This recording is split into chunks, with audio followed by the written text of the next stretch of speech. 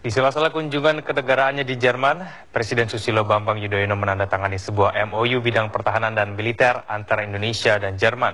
Kesepakatan ini nantinya bermanfaat bagi pertukaran informasi untuk kepentingan industri pertahanan. Nota kesepakatan perlindungan informasi rahasia bidang pertahanan dan militer ditandatangani oleh Wakil Menteri Pertahanan Indonesia, Syarif Syamsuddin, dan State Secretary Jerman, Rudiger Wolf. Kesepakatan ini merupakan komitmen kedua Kementerian Pertahanan Indonesia dan Jerman dalam upaya mereka untuk memperlakukan informasi yang diperlukan pada saat yang sama.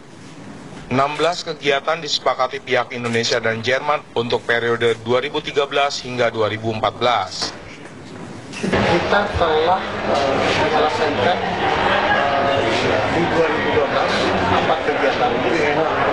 khususnya capacity building peningkatan kemampuan uh, pertahanan dalam rangka profesionalitas militer Indonesia dan militer Jerman dan untuk yang 2013 kita uh, akan mengerjakan 16 kegiatan dari uh, peningkatan kemampuan pertahanan dan empat kegiatan dari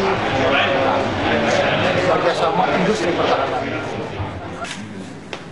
Sejumlah kesepakatan kerjasama meliputi bidang capacity building, kerjasama peacekeeping operation, universitas pertahanan, latihan pasukan khusus angkatan darat, dan pelayanan medis militer.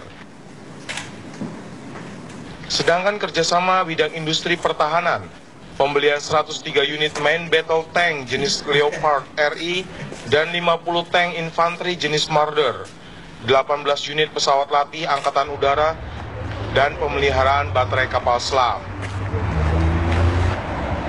Dari Berlin, Jerman, Miranti Hartzman, TV One mengabarkan.